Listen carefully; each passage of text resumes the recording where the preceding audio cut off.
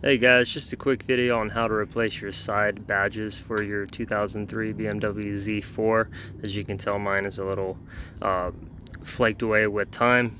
Here's a new part with the part number. This is the OEM part number. And what I did, I took a blade and just went to the depth of the blade around circumferentially and then came in with a hair dryer just to heat the badge up and then came in with the blade again to stand it more vertically to get through the entire um, 3M sticker here or the, the adhesive pad here. Uh, but this all just peels off afterwards. So I essentially just peeled it um, or cut it in half and now I'm just peeling it back. So get that cleaned up.